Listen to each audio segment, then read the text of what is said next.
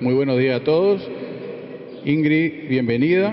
Gracias por, darle la oportunidad a toda esta gente. Creo que hay gente de San Miguel, de, de distintos lugares, de Verón, de Ituzaingó y no sé qué otros lugares.